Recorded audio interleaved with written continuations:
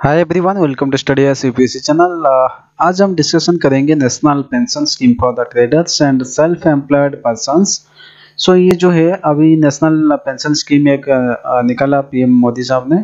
सो so ये traders and self employed person के लिए है। इसका जो स्कीम का जो डिटेल्स है एलिजिबिलिटी है रजिस्ट्रेशन प्रोसेस सब कुछ हम इसमें डिस्कशन करेंगे। चलिए देखते हैं। सो अबाउट द स्कीम ये जो स्कीम है पेंशन स्कीम है ओके ये किसके लिए ना, सबकी जो सबकीपर से रिटेल ट्रेडर से सेल्फ एम्प्लॉयड पर्सन है, उनके लिए है, जिसका एनुअली टर्नओवर जो है नॉट एक्सीडिंग था 1.5 करोड़ ओके जिसका एनुअली जो एनुअली पैसा इनकम है 1.5 करोड़ से क्या है, कम होगा तो उसी को ही ये पेंशन स्कीम में ओके सो एलिजिबिलिटी होगा। सो ये एक voluntary and contributory pension scheme है। इसका जो एनरोलमेंट है, ये फ्री ऑफ़ कॉस्ट है फॉर द बेनिफिशियरीज ओके इसका जो एनरोलमेंट है, ये सेल्फ सर्टिफिकेशन है। इसमें क्या करना है ना मिनिमम अश्योर्ड पेंशन जो है थ्री थाउज़ेंड मंथली मिलेगा।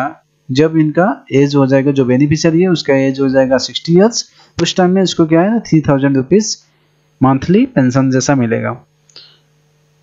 सो so, ये जो सेंट्रल गवर्नमेंट का स्कीम है इसमें क्या है ना सेंट्रल सेंट्रल गवर्नमेंट जो है 50 परसेंट शेयर करेगा एंड मंथली कंट्रीब्यूशन जो है 50 परसेंट वो कौन करेगा ना बेनिफिशियरीज करेगा। ओके सो एलिजिबिलिटी क्या है? ना बेनिफिशियरी जो है सो so उसका एक आधार कार्ड होना चाहिए और सेविंग बैंक होना चाहिए और क्या है ना जनधन अकाउंट जो पासबुक है वो होना चाहिए। ओके सो so उसमें होगा तो ये एलिजिबिलिटी है। और क्या है?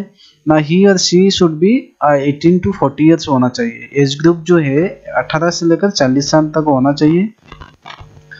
और जो है बेनिफिशियरी जो है, वो इनकम टैक्स पेयर नहीं होना चाहिए। और एक, और क्या है ना not a member of E P F O and N P S ये एक गवर्नमेंटल स्कीम है, जो पेंशन फंड स्कीम है okay N P S means national pension scheme है ओके इसमें नहीं होना चाहिए। इसका सिग्निफिकेंस क्या है? सिग्निफिकेंस ये है आ, कि जो गवर्नमेंट का जो एम है जो टारगेट है 25 लाख सब्सक्राइबर जो है वो 2019 एंड 20 के बीच में होना चाहिए। और दो दो करोड़ कहाँ पे?